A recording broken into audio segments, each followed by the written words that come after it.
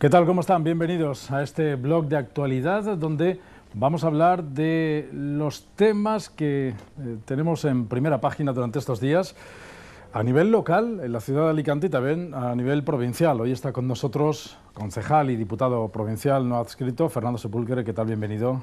Muchas gracias. Le decimos no adscrito, pero le llaman en muchas portadas de medios de comunicación el, concejal y diputado tránsfuga. Lo buscamos en la RAE y dice precisamente lo que usted hizo, eh, salirse de un partido pero no dejar el acta. ¿Le molesta que le llamen tránsfuga? Bueno, es que verdaderamente eso es lo que dice la RAE, pero en, el argot político no soy un tránsfuga, porque un tránsfuga en el argot político significa que te vayas de tu partido y pertenezcas a otro partido o cambies la decisión del gobierno en la institución que estés. Eh, en la Diputación, eh, desde el primer día, desde el acto de investidura, eh, apoyé al Partido Popular, por lo tanto mm, yo no estoy cambiando ningún sentido de voto ni el gobierno de la Diputación y por otra parte en el Ayuntamiento mm, estaba en la oposición y me mantengo en la oposición, con lo que tampoco cambio el voto del gobierno y al día de hoy soy independiente, no estoy afiliado a ningún partido ni pertenezco a nadie. Por lo tanto, según la RAE es cuando dejas un partido, pero verdaderamente en el argot político transfuga no es lo que yo estoy eh, realizando. Pero bueno, algunos medios pues se nutren de eso más que por definirme, pues un poco por, por, por porque creen que, que en esa palabra eh, hacen más daño. Sin embargo, apoya usted algunas políticas en la Diputación al Partido Popular, está aprobando los planes que el Partido Popular saca adelante y en el Ayuntamiento ha aprobado los presupuestos del tripartito. Eh, eh, ¿Está usted libre o está pendiente de...? Yo estoy libre totalmente. Lo que pasa es que intento, o a mi juicio, formulo mi voto con sentido común. Eh, por supuesto que apoyo muchas eh, propuestas del Partido Popular en la Diputación, al igual que apoyo muchas propuestas del Partido Socialista y de Compromiso en la Diputación. De hecho, ayer mismo eh, apoyé una, una, propuesta de compromiso en el sentido de la transparencia y acceso digital a toda la documentación que se le pueda pedir cualquier diputado en esta institución.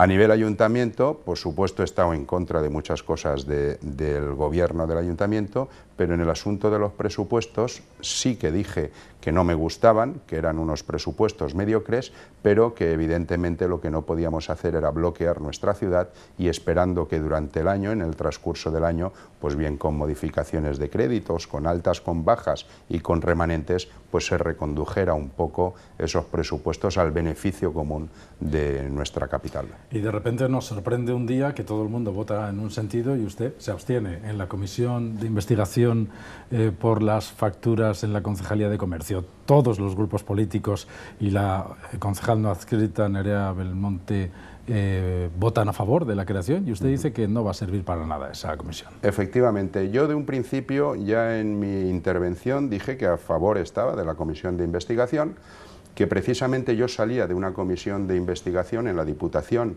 a la cual se utilizó esa comisión de investigación para hacer un poco de circo, por parte de otro partido, pero lo que estaba claro es que cuando tú pides una serie de facturas, tanto vamos, cualquier institución como el ayuntamiento o la diputación, pues deben de proporcionártelas y si ves alguna irregularidad o algún delito, debes llevarlo a fiscalía y denunciarlo y que verdaderamente eh, los fiscales y el ámbito jurídico sean los que investiguen, que verdaderamente son más profesionales, a mi juicio, que yo en este caso. ¿no?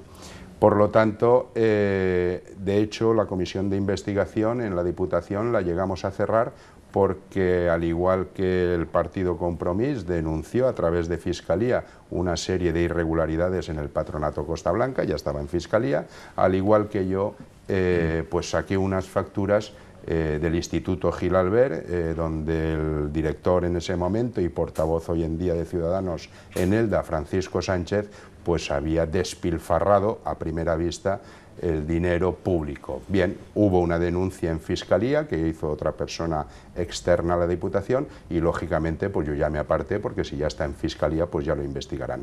Con esa experiencia que tuve, además recientemente, pues claro, si pide comisión de investigación un partido político y otro partido político va directamente a Fiscalía y denuncia esos hechos, pues yo creo que ya una vez que está en Fiscalía, pues quién mejor que esa Fiscalía vaya investigando, pidiendo esa documentación y en su momento pues vea si hay o no hay delito. Por lo tanto, una comisión de investigación, a mi juicio, ya sobraría. Por eso me abstuve, ni dije que no ni que sí, porque sí que estaba a favor, pero ya que está en Fiscalía, pues mejor ese cauce para, llegar al final. Por cierto, que esa comisión de investigación que ha citado de la Diputación de Alicante le achacaban a usted que aprovechó para eh, cierto grado de revanchismo con, con, Paco Sánchez, que recordamos es eh, concejal de Ciudadanos en Elda, con quien, bueno, pues se dice que tuvo usted algún rifirrafe en su salida de, ese partido político. Bueno, eso es indudable, ese rifirrafe, tanto como con Paco Sánchez como Emilio Tormo,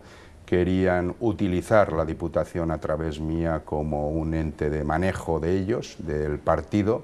Ellos hablan mucho de temas de imputación y apartar a la gente y a este hombre portavoz de Ciudadanos en Elda no lo han apartado cuando Fiscalía le está investigando hablan por hablar, eh, parece que la bandera esa de anticorrupción que tienen, pues lógicamente con ellos mismos no la aplican.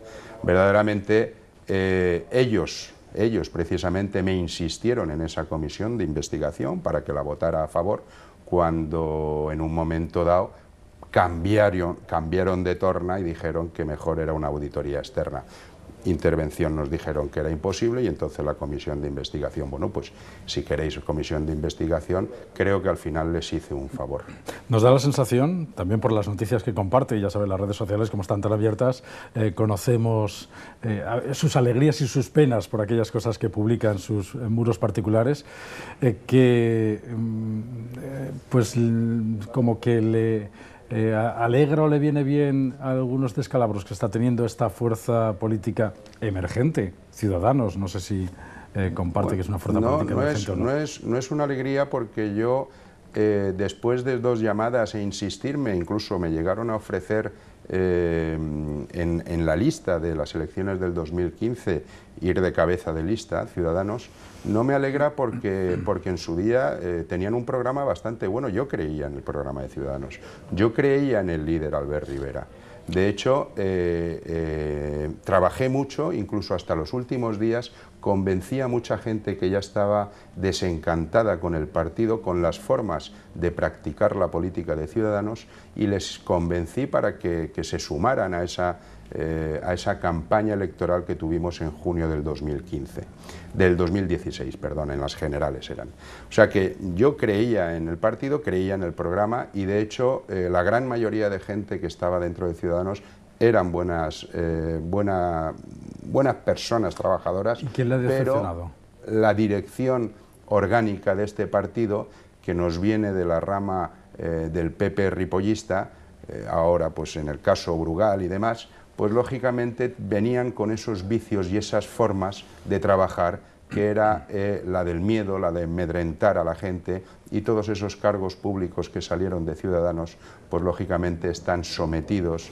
y sumisos un poco a, esa, a ese hacha que tienen siempre encima de la cabeza de cualquier cargo público. ¿Quién no me gustan la, la rama local de Ciudadanos? Sí, sí, sí, toda la, toda la cúpula orgánica de la provincia, incluso de la comunidad valenciana de Ciudadanos, por supuesto, totalmente. Por cierto que ya tampoco están eh, ni Carolina Punset, que no, ya... No, no, no, es que ellos no eran... Es que ellos, no, es que ellos no eran cargos orgánicos.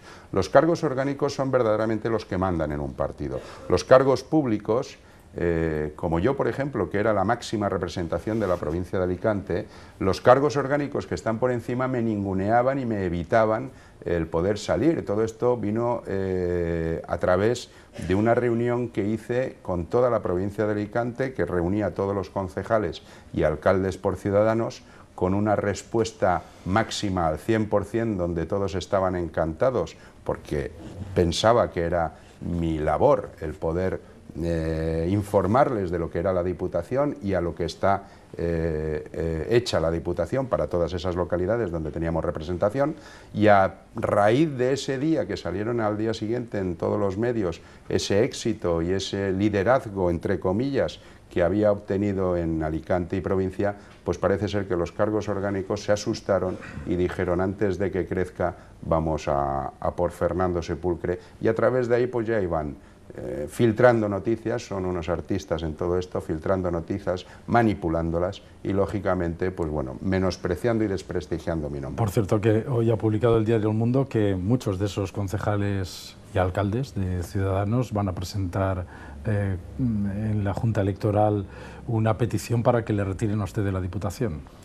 Bueno, el diario El Mundo está acostumbrado, no es la primera vez que dice una mentira en su periódico, también sabemos eh, de dónde vienen eh, esta o estas personas, que parece ser que en su día los puso el señor Ripoll allí en El Mundo. Entonces, claro, van dirigidos y las noticias eh, las van publicando dirigidas a través de, de esta rama que todavía coletea, por nuestra desgracia, en esta provincia.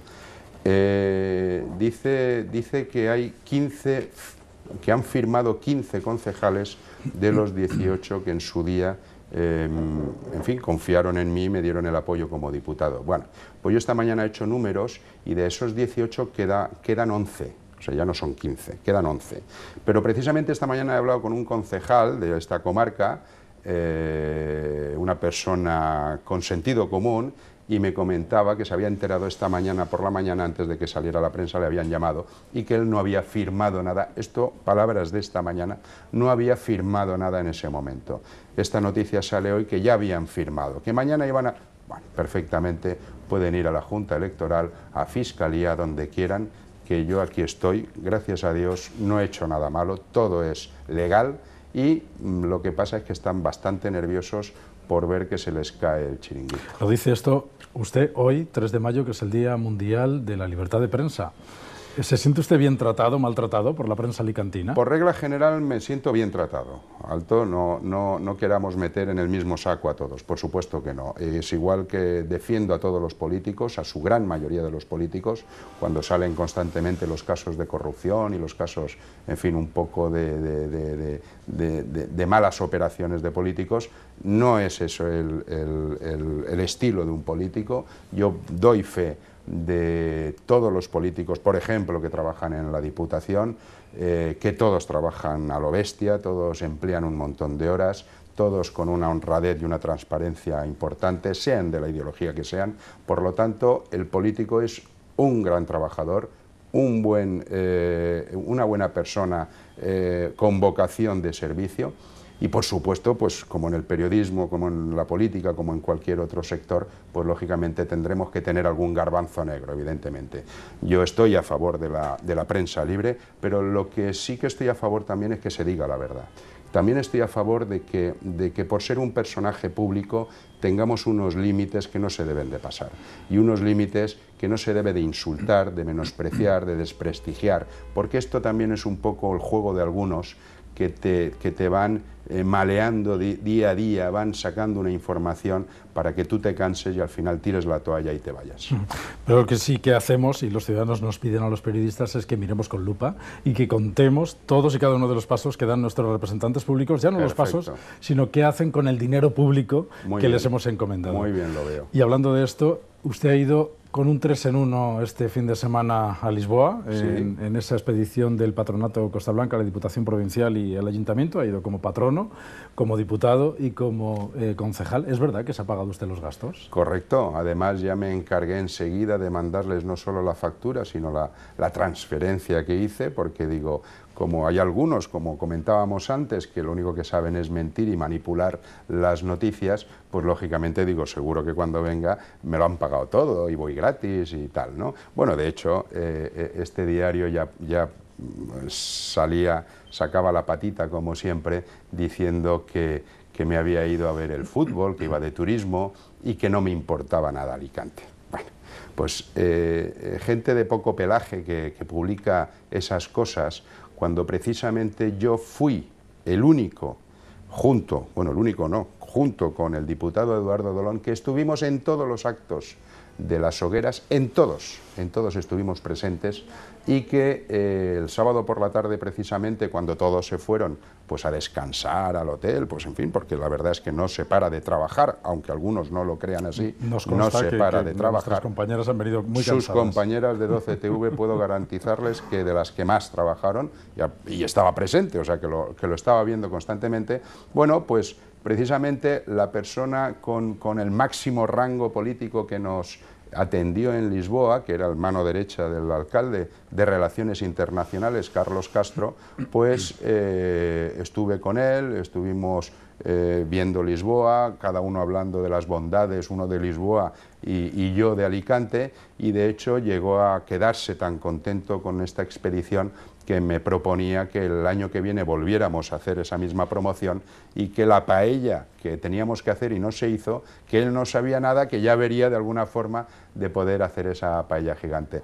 Estuvo muy contento, eh, todo fue redondo y yo creo que fue un éxito rotundo. Bueno, sí que les invitó a ver el fútbol, ¿no? Fueron a ver el Benfica, Sí, sí, sí, sí, me pues invitó a ver el fútbol, efectivamente, efectivamente, y fue en ese, en ese momento cuando todos se iban al hotel a descansar y yo digo, pues bueno, pues, pues, pues, ya que estamos aquí, fue, era un honor para él también que la acompañara y demás, y por supuesto que no me iba a negar. ¿Sirven estas expediciones? Es decir, ¿se va a recoger el fruto de, de este viaje que se ha hecho Ya lo hemos recogido, o sea, el fruto ya está recogido porque ya el 10 de junio se pone eh, en marcha la línea directa Lisboa-Alicante con la compañía TAP que ya eh, estaban trabajando en ella, precisamente el patronato Costa Blanca, y se han puesto ya, se van a poner a la venta 13.000 eh, asientos para el vuelo directo, 13.000 que por, supuesto al ser de ida y vuelta son 26.000 asientos de avión que, van a, que van a ocuparse.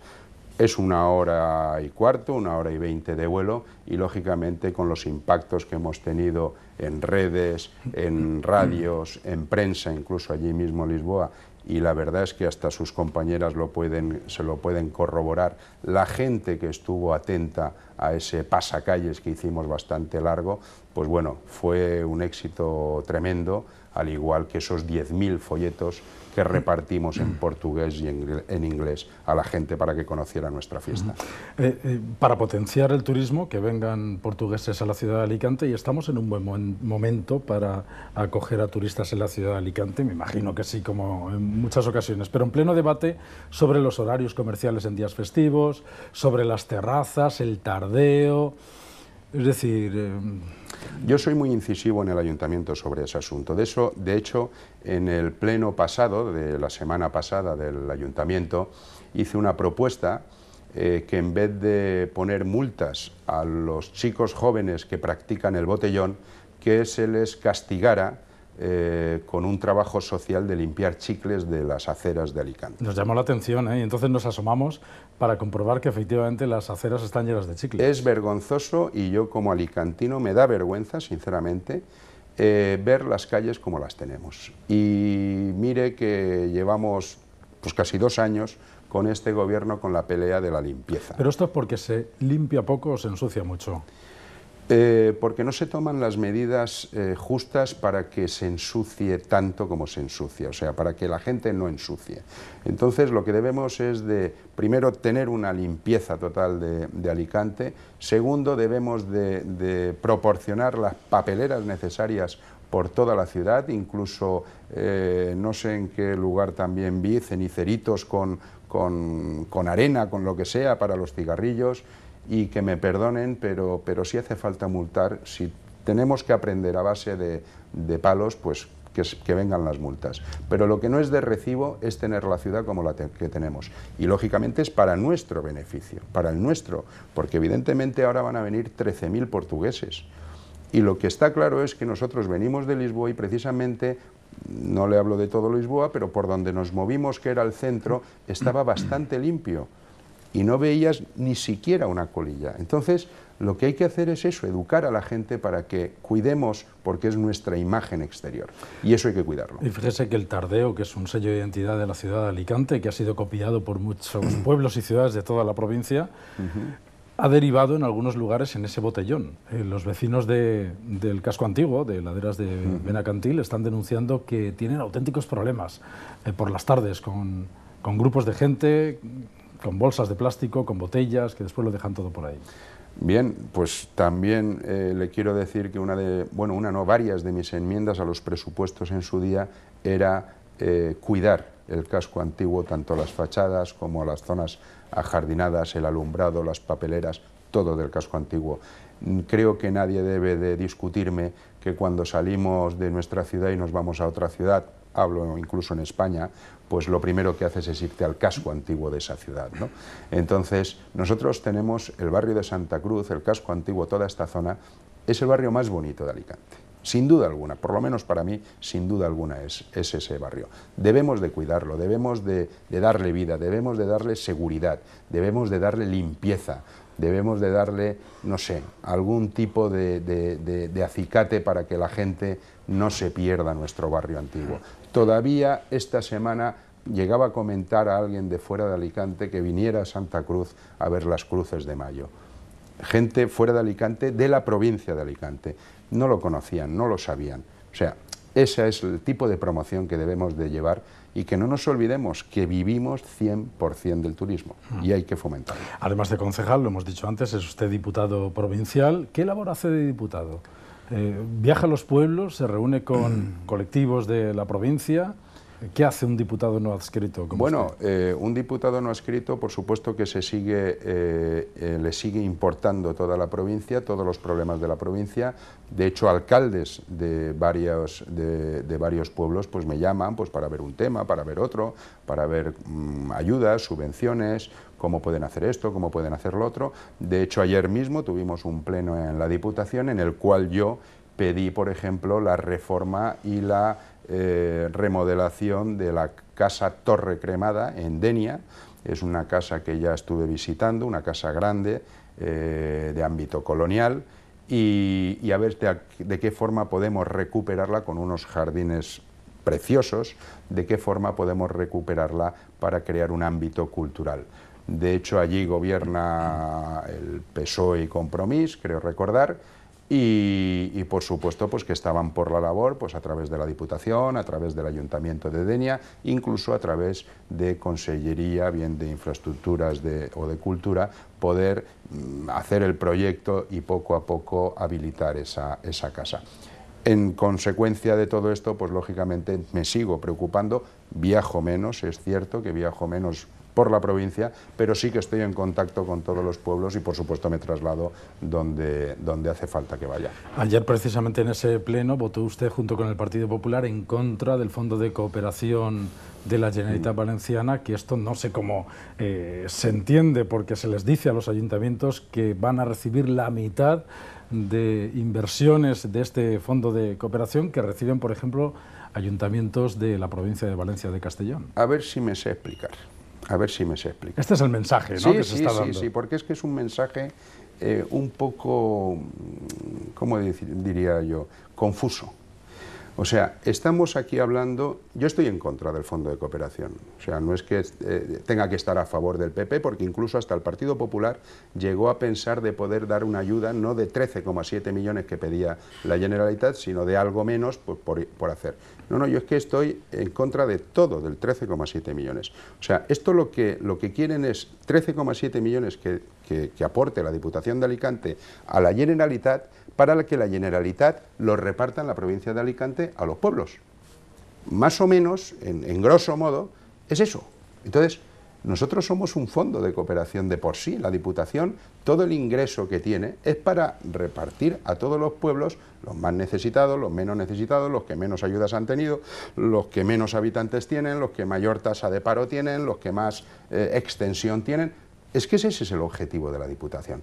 O sea, yo darle 13,7 millones a Valencia para que venga Valencia Alicante a repartirlos, es que yo pienso que es incongruente, o sea, sinceramente. ¿Lo ven como una invasión de competencias por parte de la No, no, no, no, por supuesto. Y ya no me meto solo con este gobierno de la Generalitat Valenciana que gobierna el Partido Socialista y Compromís. Me meto también con el anterior que había del Partido Popular. Porque aquí en Alicante nos han ninguneado al 100% desde Valencia. O sea, estábamos hablando de los presupuestos generales siempre, que, a la comunidad valenciana está infrafinanciada. Por supuesto que está infrafinanciada. Pero es que la provincia de Alicante está infra-infrafinanciada. Y ahí la culpa la tiene el gobierno central y el gobierno regional. Usted que entró en la Diputación con un partido que, llevaba entre sus medidas eliminar las diputaciones, eh, ¿cómo se entiende esto ahora que está, no sé si defendiendo lo contrario o no, pero Bueno, pues evidentemente yo, por supuesto, defendía, defendía el cierre de las diputaciones en el sentido de que no hubiera duplicidades, pero claro, hasta que no llegas y lo ves y lo conoces, pues no puedes emitir un juicio verdadero. Ahora mismo en, eh, la provincia de Alicante además es que es muy peculiar, porque tiene 141 municipios y tiene más del, y digo peculiar porque es que más del 80% son menores de 5.000 habitantes.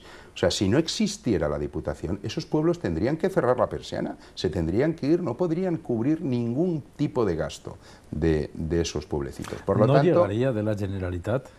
Es decir, porque esa pregunta se la hacemos a Mónica Oltra o se la hacemos a Chimo Puig y nos dicen, la Generalitat está para... La Generalitat en, ese, en ese, sentido, por supuesto que hay algunas cosas que colabora, evidentemente, pero si nos cogiéramos pueblo a pueblo, la Diputación invierte más en cualquier pueblo de la provincia que la Generalitat.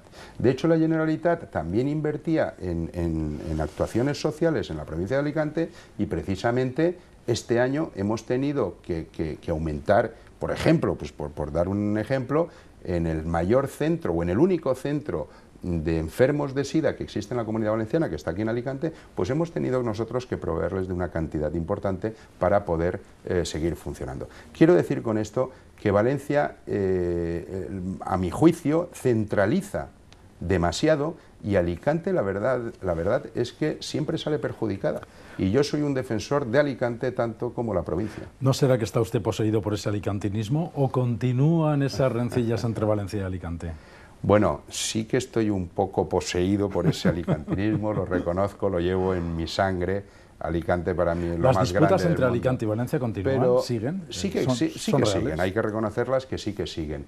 Pero bueno, soy contrario a que existan disputas, a redencillas. De hecho, antes fuera de micrófonos comentábamos pues las redencillas del pueblo de al lado y de al lado hay que, hay que ser sensatos en esta vida y hay que llevarse bien con Valencia y hay que colaborar entre todos, Valencia, Castellón, Alicante, y hay que llevar políticas comunes para el beneficio del conjunto. Evidentemente, cuando eh, llegamos a un cargo público a través de unas siglas, por supuesto que hemos llegado ahí, pero una vez que ya ejerces como ese cargo público en cualquier institución, te debes al conjunto de los ciudadanos, no te debes a los que te han votado exclusivamente, te debes al conjunto. Por lo tanto, está claro que sí que debería de haber más consenso, más diálogo, más negociación y llegar a acuerdos comunes para el bien de todos, pero que haya un poco más de libertad. No se puede ir a base de decretazo ni a base de imposiciones, porque a mí personalmente eso no me gusta. Diputación y Generalitat cada vez lo tienen más difícil porque van poniendo piedras en el camino unos de otros. Yo ya no voy a decir si uno tendrá más o menos culpa, pero